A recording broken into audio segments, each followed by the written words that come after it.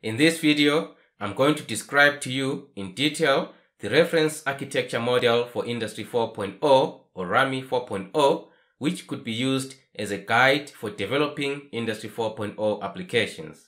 My name is Kudzai Manditereza with Industry 4.0.tv and I regularly publish industrial IoT and Industry 4.0 tutorials, podcasts, and live expert discussions on this channel.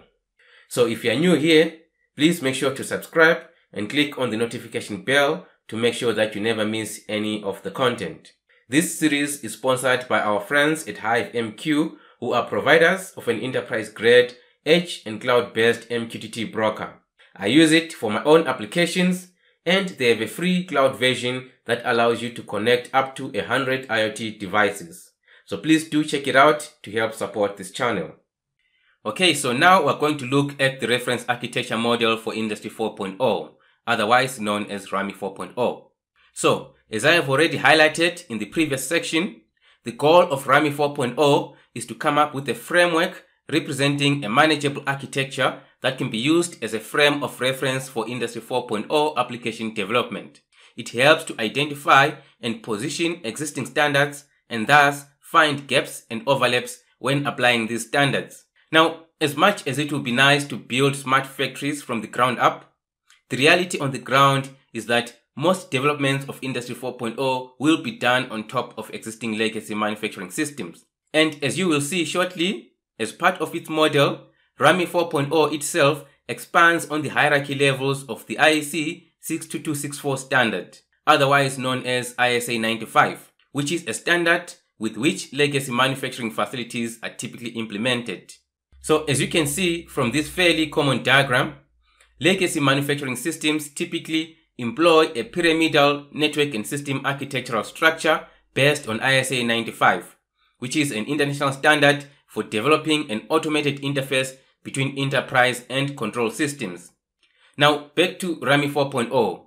What RAMI 4.0 does is that it takes all the crucial aspects of Industry 4.0 whose classification we discussed in the previous section and combines them into a three-dimensional model so that they can be classified and developed further, thereby paving the way for the breaking down of the complex interrelations across domains into smaller and simpler clusters. But what exactly do we mean by that?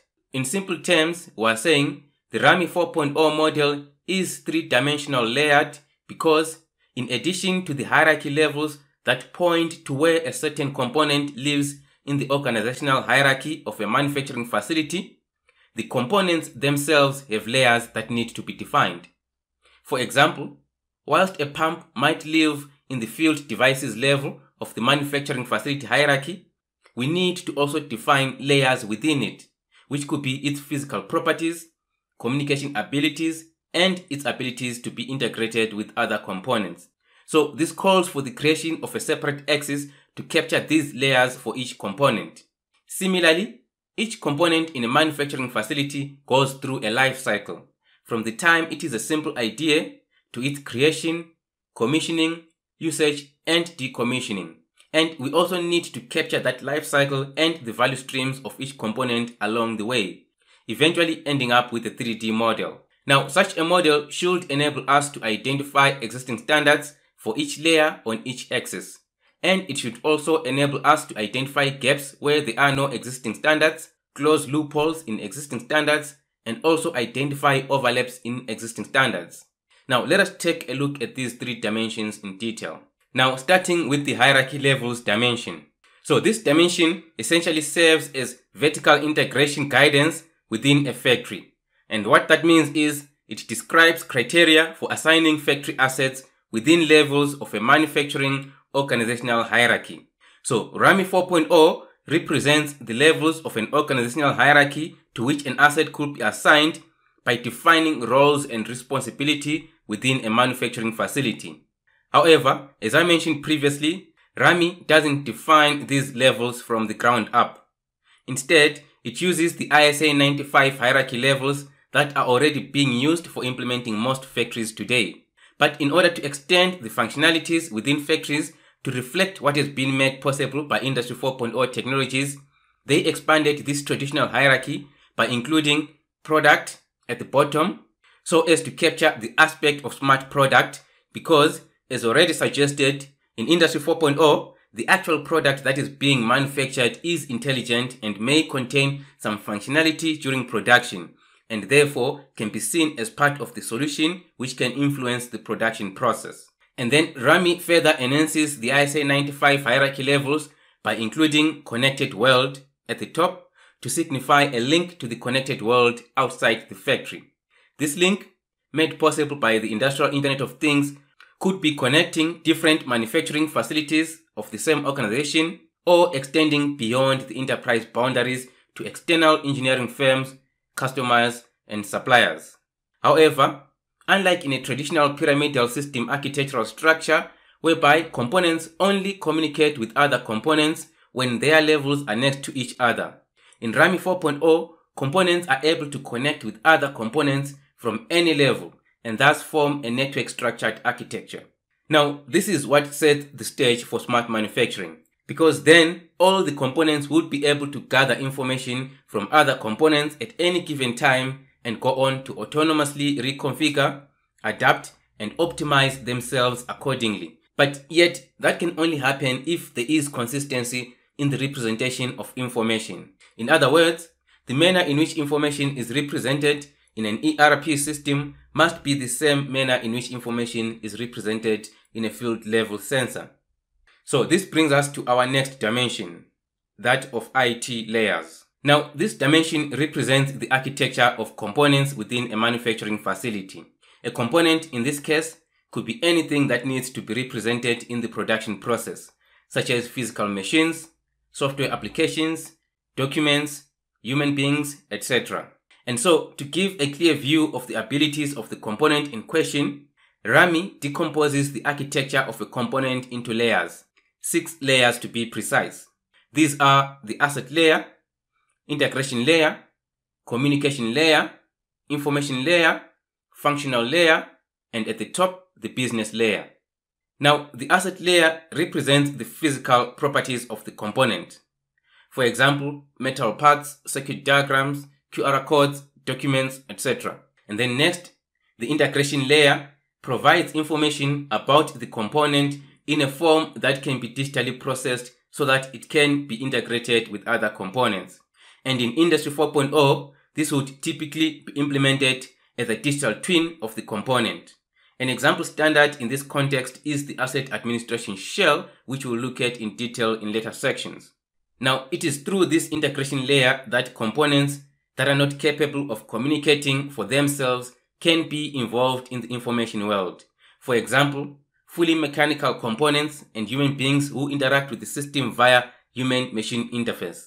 And then next, we have the communication layer, which is responsible for providing a standardized form of communicating the digital information about the component. It does that by using a common data format and predefined protocols. This layer also provides services to the integration layer. One of the most common standards used in this context is OPC UA. Next, we've got an information layer, which is responsible for processing data about the component, persisting the data onto well-defined information models to ensure data integrity and make it available as useful information via a service interface. In other words, it's the layer that enforces semantic interoperability of a component and thereby making its data representation and access Industry 4.0 compatible. And then there is the functional layer, which includes formal descriptions of the functions or services provided by the component to other components in a smart manufacturing system. In addition, the functional layer incorporates some decision-making logic, executes services that support business processes, and it serves as a basis for remote access and the horizontal integration aspect of smart manufacturing. In other words, the functional layer provides Industry 4.0 compatible functional access to the component. For example, ERP functions in the manufacturing context are typically located in the functional layer. Lastly, a business layer needs to be defined for each component. In other words, what manufacturing business processes is it linked to? Also, what legal and regulatory conditions does it operate under? Okay, moving on to the life cycle and value streams axis. Now, this dimension represents the life cycle of Industry 4.0 components. And as stated earlier, a component could be anything that needs to be represented in the production process. Could be a product or an entire factory. So the idea here is to come up with a standardized approach to describe and track a component over its entire lifetime, from conceptualization of the component to its usage, maintenance, and then decommissioning. Now, for this axis, RAMI 4.0 borrowed from the IEC 62890 standard, which is a standard that establishes basic principles for lifecycle management of systems and components used in industrial systems. Now, as you can see, in this axis, an effort is made to highlight a clear distinction between what is called a type of a component and what is called an instance of a component, whereby a type refers to the description of a product or machine in its basic idea before it is created, and that could be in the form of documents or digital models. And an instance refers to an individual physical copy of a component that has been manufactured from that particular description of a type. In other words, a type is created during conceptualization of a component, whereas an instance results from the manufacturing process that uses the type description as input. However, as the instance encounters the real world, more information about its usage and maintenance is generated and that information is sent back to the type stage in a feedback loop in order to allow improvements to be made on the concept. Now, here is why it's so important to distinguish between concrete product instances and their types. So let's say, hypothetically, we have a manufacturer of machine parts. Before producing the parts, they would start by describing a part type. And then after manufacturing the parts and delivering them to a customer, which is a machine manufacturer, they become instances of part types. That's a complete life cycle, right? However, the machine manufacturer has got their own individual life cycle to deal with, whereby they start by describing a machine type and then go on to assemble the parts instances and deliver the resulting machine instance to a factory. Similarly, the factory operator starts by describing the product type and then uses the machine instances to manufacture products and deliver them as instances to the end user. Now, during the usage of the machine, information about a specific part is generated and relayed back to the manufacturer of the part, who then goes back to the part type and updates it so that new instances will be produced with the new information. So, from this, you can see that types also have development and usage or maintenance stages as much as physical instances do. Therefore, the reference model for Industry 4.0 has to and does deal with the types and instances as separate but equivalent entities. Furthermore, because of these interactions of life cycles from various stakeholders, the life cycle of an Industry 4.0 component can no longer be viewed in isolation, but rather as a collective of all parties involved, from component suppliers right down to the customers.